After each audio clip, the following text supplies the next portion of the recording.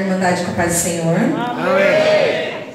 Irmãos, é, o louvor que eu vou que eu vou louvar agora, no dia que ele recebeu a resposta da entrevista, eu acordei de manhã com esse louvor no meu coração. E eu quero dizer para a igreja, aquele que começou a boa obra, ele é fiel para cumprir. E ele vai fazer infinitamente mais, como meu esposo falou aqui na, na palavra de Deus. Amém? Eu peço que os irmãos nos ajudem a adorar o Senhor nessa noite.